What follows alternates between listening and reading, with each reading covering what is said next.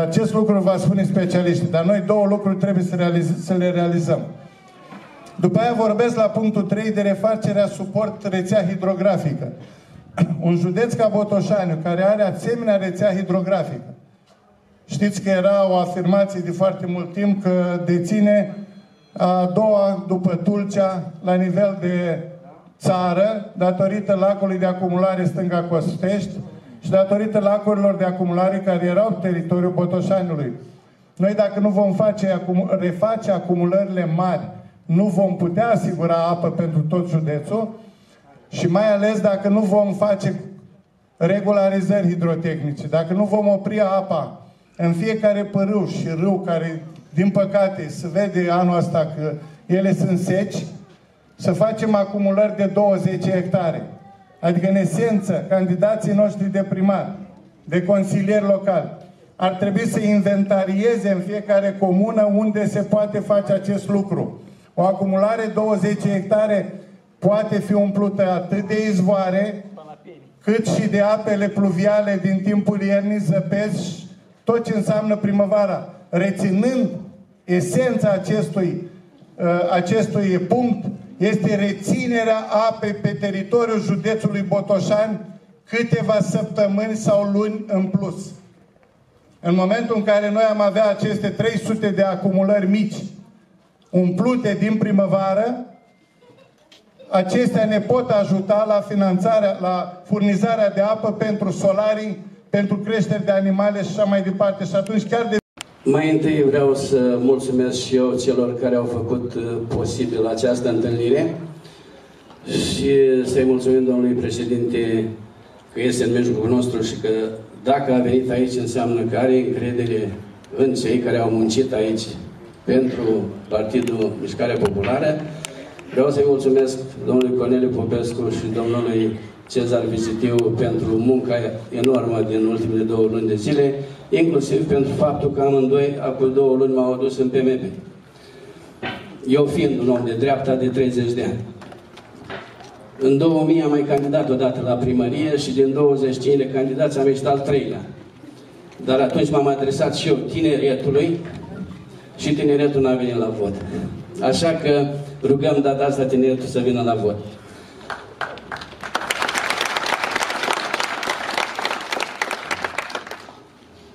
Cei care aveau 15 ani în 2000, acum au 35, au familii, mă bazez pe electoratul de atunci, care astăzi, cu siguranță, va vota PMP. Alo, stimați membrii PMP, vreau să vă salut pe toți. Am venit la Darabani ca să ne întâlnim aici cu domnul președinte Toma, care a venit de la București până aici, chiar dacă mulți când veneau aici spuneau, noi venim la Botoșani la captul lumii. Aici este captul țării, eu fac parte din organizația PMP Darabani, cel mai nordic oraș al țării. Vreau să-l salut, dacă vorbeam după dânsul era tare greu, că el este un mare orator. Un botoșănean de-a nostru spunea că după chip cunoște o floare, ce o hârlia după cânt, aurul după culoare și omul după cuvânt. Mulți spun suntem în vârstă. Avem și domnul senator și eu, altă, și un partid care nu are bătrâni să-i cumpere și dacă are, să-i spânzuri. Așa spune la noi în Moldova, aici. Nu putem face treabă numai cu băieți tineri. Acești băieți tineri trebuie educați. Trebuie luați de noi, îndrumați. Am făcut parte din echipa lui domnul Băsescu 2008-2012. A fost foarte bine, dar am întâmpinat niște greutăți. Că atunci ce le-am promis noi, o venit PSD-ul acum și cu PNL-ul și le-au spus ce deviz aveți la partid voi? Oameni buni, votați-mi pe noi că vă luăm și mai aveți. Și așa au făcut și PNL-ul și PSD-ul. Eu vă încurajez pe toți, ăștia tineri care sunteți, să luptați până la capăt. Campania se face din casă în casă. E greu. Nu vreți acum, economie nu avem, învățământ avem, agricultură nu avem, ce mai rămas? De asta mulți tineri se implică în politică. Că știți ceva? decât un patron calic mai ghine un salariat bogat. Eu vreau să vă mulțumesc, este un efort foarte mare, că politica este foarte grea de făcut. Eu vreau să vă intenționez pe ăștia tineri. Politica se face cu bani, fraților, dar banii nu se mai scot din politică, niciodată.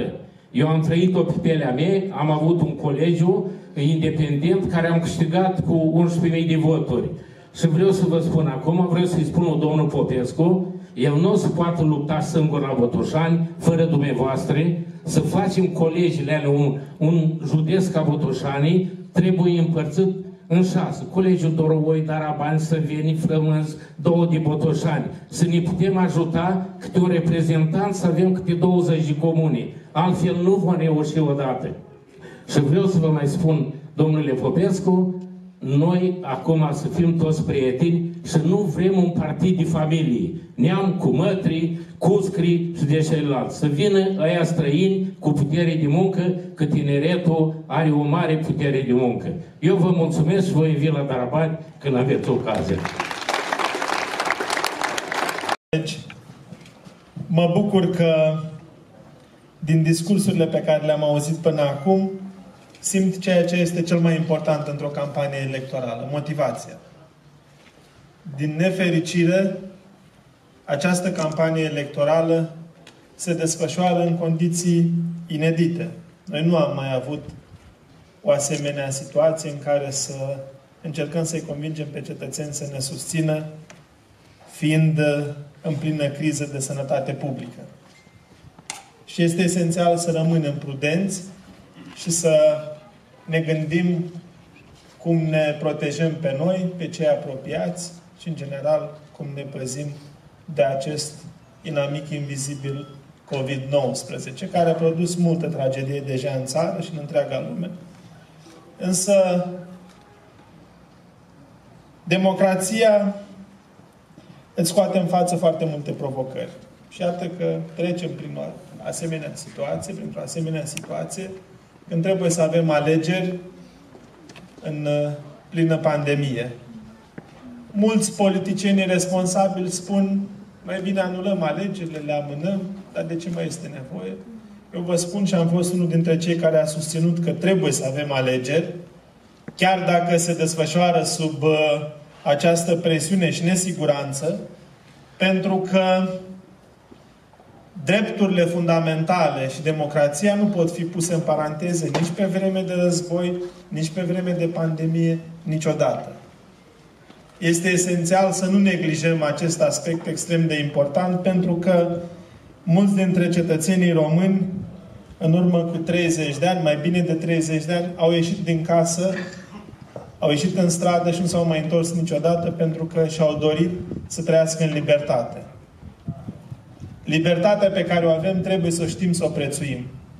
Din păcate, foarte mulți politicieni care cred că le știu pe toate au confiscat această libertate și au folosit-o în interes propriu. Viața politică a fost dominată de partide învechite în rele. Acest partid pe care îl conduc astăzi este cel mai liber partid politic din România. Mi-am dorit foarte mult să contribui la o construcție politică în care oamenii să vină din încredere, să-și pună speranța și să simtă că ceea ce muncesc, ceea ce obțin ca scor politic, este utilizat pentru binele comun. Sigur că mulți se întreabă de ce PMP și nu alt partid. Și am să încerc să vă dau câteva argumente. Ați văzut în ultimii ani cel puțin în ultimile luni, foarte mulți politicieni spunând noi luptăm pentru revenirea la alegerea primarului în două tururi. Da, și e nevoie ca în România să revenim la sistemul de alegere a primarului în două tururi. Este mult mai sănătos și pentru comunitate și pentru societatea românească. Dar niciun partid nu și-a dorit să revenim în mod real la alegerea primarului în două tururi. Singurul partid politic care a mers în Parlament cu un proiect de lege care a trecut prin toate procedurile parlamentare, a și fost adoptat în Senat, este proiectul de lege al Partidului Mișcarea Populară.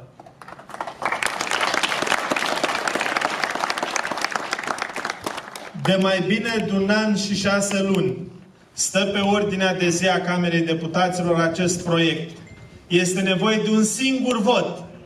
De un singur vot pentru a deveni lege și a putea vota din nou în două tururi. Niciun partid nu și-a dorit acest lucru. Am apelat și la PNL, și la USR, și la alții. Nimeni n-a vrut să susțină acest demers pentru a reuși să le redăm românilor șansa să-l aleagă pe cel mai bun în fruntea comunității. Mai există mai există un alt obiectiv. Și am auzit aici doi colegi spunând ceva esențial. Să știți că cheia pentru a începe o reformă reală în administrație stă într-un singur cuvânt. Și acel cuvânt este transparență. Fără transparență nu putem construi o societate românească sănătoasă.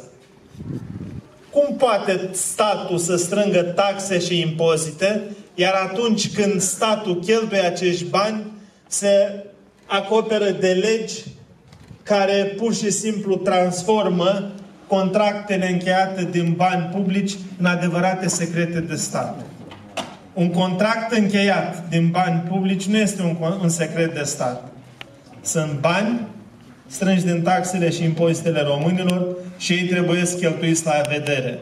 Singurul partid politic în această țară care a propus un proiect de lege prin care am cerut transparență totală în administrație este Partidul Mișcarea Populară.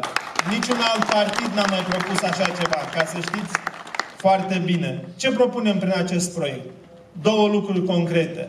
Unu, toate contractele semnate de primării, de consilii județene, de casă de sănătate, de ministere, de agenții guvernamentale, tot ceea ce înseamnă instituție publică care angajează bani publici, acele contracte semnate, în ziua în care sunt semnate, să fie urcate pe internet. Orice cetățean să aibă... Și nu doar contractele, și facturile trebuie să publicate.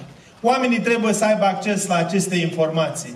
Și eu sunt absolut convins că în momentul în care vom adopta această lege prin care cerem transparență totală în administrație, România va face un salt mare înainte. Pentru că așa oprim risipa banului public și clădim o nouă relație între cetățean și stat. Oamenii nu mai au încredere. Și această încredere trebuie reclădită. Și noi propunem acest proiect. Suntem singurul partid care susține un asemenea demers. Vreau să aveți acest argument și să-l utilizați în această campanie, pentru că ceilalți nu susțin un asemenea proiect. Mai departe, în urmă cu 10 ani am avut un referendum. 10 milioane de români au spus vrem 300, nu 500. Toată clasa politică a ignorat rezultatul acestui referendum. Este inadmisibil. Este o bătaie de joc. Este un dispreț total afișat față de democrația românească manifestat de aceste partide care umilesc statul român și voința cetățenilor. Este inadmisibil ca toată clasa politică să spună că nu ne interesează ce au hotărât 10 milioane de români într-un referendum. Un referendum nu este un sondaj de opinie. Un referendum în sine este o instituție. Și dacă 10 milioane de români au spus vrem 300, nu 500, avem obligația să ne luptăm și la 10 ani după acest referendum că el să devină lege. Singurul partid care a propus un proiect de lege pe acest obiectiv în Parlament este Partidul Mișcarea Populară. Nu PNL, nu USR, niciun partid n-a reușit să vină alături de noi, nu și-a dorit să susțină un asemenea demers și ne vom bate pentru el. Pentru că, repet încă o dată, să înțelegeți extrem de clar, să le spunem oamenilor, pentru că după alegerile locale vin alegerile parlamentare. Și instituția referendumului este fundamentală și nu are nimeni voie să o marginalizeze. Uitați-vă la Marea Britanie. Un guvern irresponsabil i-a împins într-un referendum în care n-a crezut nimeni că va trece. Dar 50% plus unul din cetățenii britanici au spus plecăm din UE. niciun politician n-a îndrăznit să pună sub semnul întrebării rezultatul referendumului. La noi toată clasa politică a călcat în picioare timp de 10 ani această solicitare exprimată prin vot în cadrul unui referendum. Și trebuie să ne batem pentru acest obiectiv, să devină lege și să avem maxim 300 de parlamentari. Și vom lupta.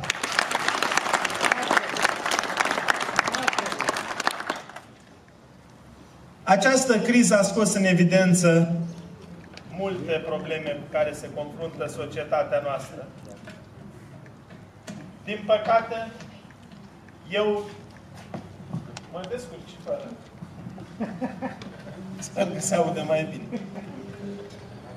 A scos în evidență multe dificultăți și s-a văzut că nu suntem pregătiți să facem față unei asemenea crize. Ce mi s-a părut mie nedrept este modul cum au fost risipiți banii publici.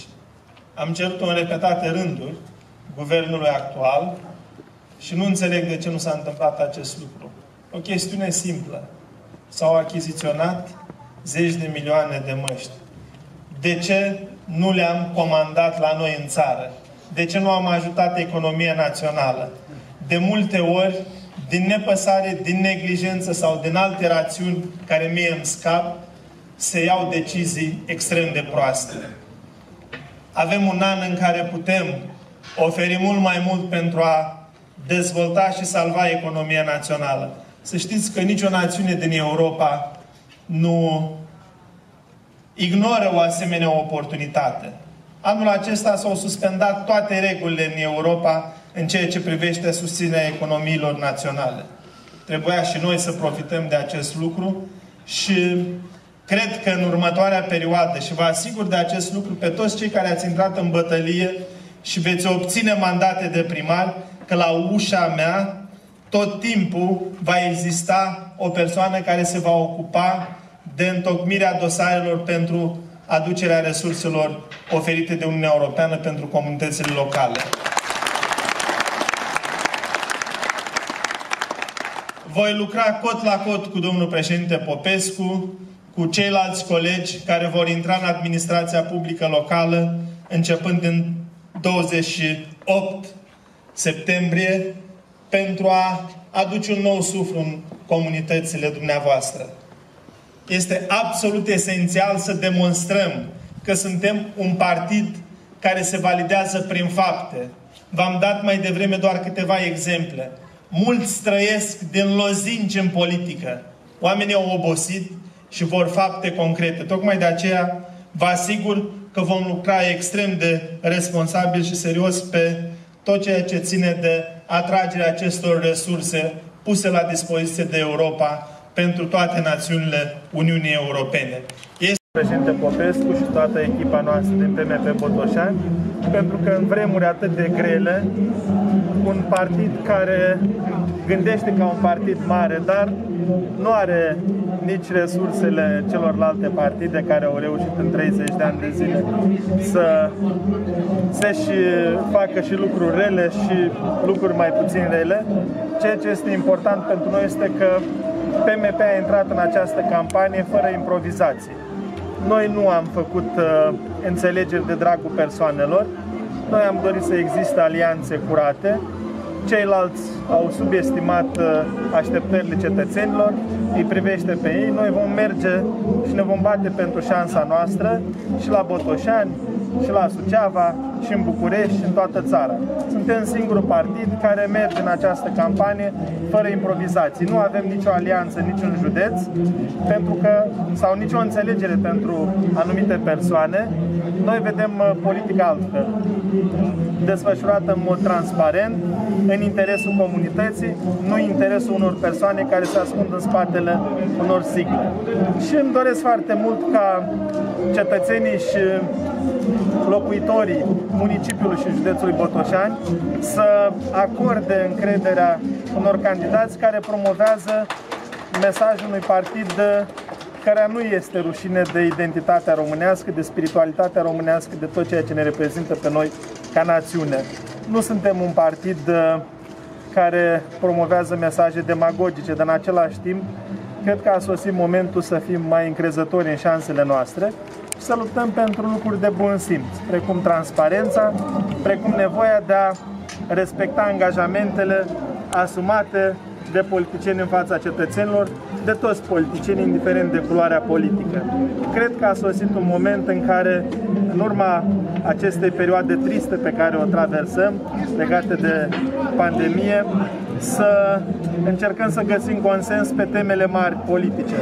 Dacă nu se va găsi acest consens, noi vom milita în continuare și în continuare și în continuare pentru ca temele mari ce țin de prioritățile României să nu mai fie trecute în plan secund și să rămână priorități reale. Pe asta ne concentrăm atenția în următoarea perioadă și pentru aceste obiective ne vom bate. Nu este posibil ca după 10 ani de zile când se pregătesc din nou alegeri parlamentare, să avem tot aproape 500 de parlamentari și nu 300 cât au decis românii în urma unui referendum. Nu este posibil să clamăm la televizor că ne dorim alegerea primarului în două tururi, dar să nu susții printr-un singur vot pe care trebuie să-l dăm în Parlament un asemenea demers. Sunt multe alte lucruri pentru care PMP va insista în continuare, pentru că, repet, sunt priorități ale României, nu doar priorități ale partidului nostru. Temele și obiectivele prezentate dumneavoastră sunt mai degrabă pliabile pe alegerile parlamentare. Urmează alegerile locale. Aveți obiective la nivel mai micro pentru unități administrativ-teritoriale? Păi am spus, pentru a da speranță Uh, administrației publice locale avem nevoie de alegerea primarului în două tururi. Este o temă ce ține de locale și trebuie să o explicăm de ce nu da, avem dar alegerea în două tururi. la București. Nu se tranșează în Parlament, dar exact. cetățenii se întreabă de ce din nou într-un singur tur 15-20 de candidați în comune mici sau mari, în condițiile în care uh, uh, și voturile se risipesc, în condițiile în care aveam șansa să votăm în două tururi. Explicăm acest lucru. Transparența iarăși este un subiect care uh, oprește risipa banului public. Este o temă pentru care noi milităm, pentru că chiar dacă ține de agenda Parlamentului, ea vizează reforma administrației publice locale, pentru că venim și le spunem românilor ce am propus noi, cei din PMP și celelalte partide, toate la un loc, se opun. Deci românii trebuie să știe că există partide care una spun în campanie și cu totul alta votează în Parlament. Suntem singurul partid care a votat împotriva instituirii pensiilor speciale pentru parlamentari și primari în Parlament. Toate celelalte partide ori au tăcut, ori au făcut front comun. Deci sunt niște realități pe care avem obligația să le aducem în actualitate. Sigur că Uh, acolo unde vom câștiga, știm ce avem de făcut cu resursele. În primul rând pentru că avem priorități clare ce țin de digitalizare, de uh, combaterea poluării, de crearea de locuri de muncă. Este inadmisibil că România este la ora actuală singura țară din Europa unde în sistemul de învățământ public peste 90% din instituțiile de învățământ preuniversitar nu au autorizație ISO. Cum putem discuta despre educație, că se deschide anul școlar în continuare și în 2020, exact ca în condițiile pe care le avea sistemul de învățământ în anii 90? Sunt niște realități despre care trebuie să discutăm și asta vom dezbate în campania electorală. PMP Botoșan are un target impus de dumneavoastră? Poftiți? PMP Botoșan are un, un target impus de dumneavoastră? Target? Da, păi ne batem pentru 10%, este evident. Și domnul păi aveți deja 20%, păi... așa s-a anunțat. Acolo unde vom avea 20% vor primi un premiu uriaș colegii noștri, dar uh, targetul general al partidului este de plus 10% și eu sunt convins că este un target realist. Dacă echipa condusă de domnul președinte Popescu va obține acest uh, target pe care și l-au pus de 20%, fiți sigur că domnul Popescu va fi viitor ministru în guvernul României că și funcțiile politice se dau după rezultatele politice. Cum uh, puteți atinge un target de 20% sau chiar de 10% decât vorbiți dumneavoastră? Alegerile locale uh, sunt cele mai grele pentru că trebuie să intre în competiție cu foarte mulți candidați. Gândiți-vă că după PSD, care are 3000 de candidați și PNL 3000 de candidați, al treilea partid ca forță organizatorică este PMP. Noi candidăm în 2436 de localități din această țară. Următorul partid după noi are în jur de 800 de candidați. Deci am demonstrat că ne-am învățat lecția din 2016, unde și noi am avut în jur de 800 de candidați, acum avem de 3 ori mai mulți și sunt convins că acest aspect va cântări foarte mult în rezultatul alegerilor. Sigur că uh, uh, ne dorim mult mai mult, dar românii vor decide pe 27 septembrie dacă rămân tot în capcana întinsă de partidele vechi sau vor să ne dea și nouă șansă pentru că noi chiar vrem să demonstrăm prin fapte, nu prin uh, lozinci.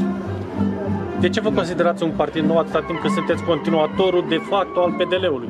Nu, suntem un uh, partid uh, nou, creștin-democrat, creat de președintele Băsescu, dar 80% din membrii PMP care conduc partidul PMP se, sunt fie oameni noi în politică sunt, sau oameni care au mai avut experiențe politice în alte partide decât în PDL. Mulți dintre pedeliști s-au dus în, în PNL, unii s-au dezamăgit, au venit alături de noi, însă structura acestui partid, modul de uh, acțiune, uh, este construit pe noi piloni. Și din punct de vedere doctrinal și din punct de vedere ai, ai, ai obiectivelor pe care le ale obiectivelor pe care le Vă rog. Afirmația candidatului nostru la municipiu, Gheorghe Cibotaru, care spune că la Botoșani ne apropiem de 20% și asta va fi arătat săptămâna aceasta și avem toate șansele să câștigăm. Din sondajele noastre de săptămâna trecută, noi avem 9,4 pe județ în totalitate și uh, eram la 16% la municipiu și sper ca să facem o figură frumoasă pe municipiu. Tot programul meu electoral al Botoșaniului. Și de aceasta este prezența domnului președinte aici, este garanția programului electoral care este aplicat și se referă doar la județul Botoșani. Are o componentă mică legislativă, dar foarte mică, prin ceva legislație subsecventă, hotărâri de guvern și altceva, rest tot se poate aplica. Și programul pe care eu l-am pus la dispoziție și în dezbatere atât presei cât și televiziunilor locale. Uh, sper ca primarii noștri, câți om câștiga, să aplice acest program pentru că, într-adevăr, uh, și vor, vor fi niște comune model.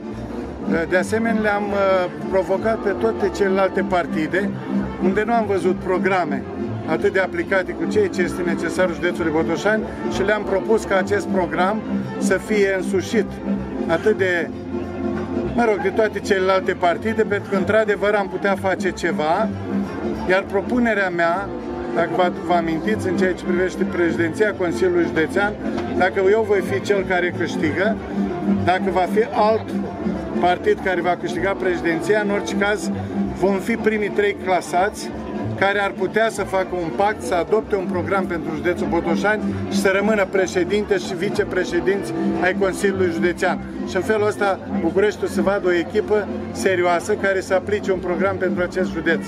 Având în vedere că nu doar Botoșani, întreaga Moldova arată cum arată. Și asta nu trebuie să care făceați vorbiri au fost efectuate de un uh, operator De profesioniști, da, da. De o firmă Ce înseamnă avizat, dacă îmi spuneți? De o firmă autorizată. Da, sigur, de o firmă de la Iași, da. Și nouă, nu, când o va fi pentru că este un sondaj intern. Doar a fost provocat o discuție, uh, a fost făcută de o firmă din Iași, de specialiști și ne bucură dacă nu, atingeți pragul, dacă nu atingeți pragul electoral, ce faceți? Poftim? Dacă nu atingeți pragul electoral, ce faceți? A, asta e o întrebare la care eu vă, nici n-are rost să răspund. Nu vom face, vom fi a treia forță politică la Botoșani, spre dezamăgirea dumneavoastră. Dar nu trebuie să fie dezamăgit. O să fie bucuros. Ba da, da. Primiți problema, nu. Totdeauna monitor atât ca la cupile europene. Știi? Nu, vom fi a treia